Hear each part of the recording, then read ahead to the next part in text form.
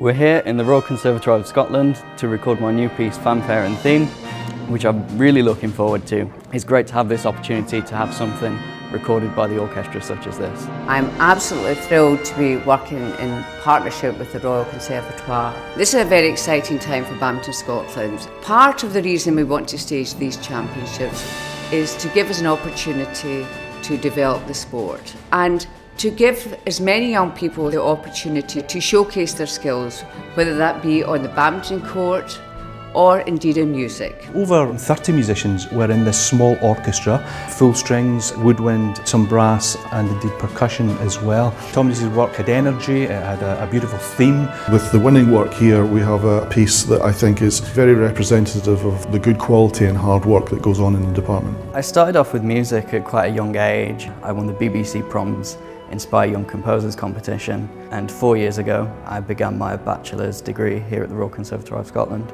I think athletes and artists have something in common which is an absolute passion.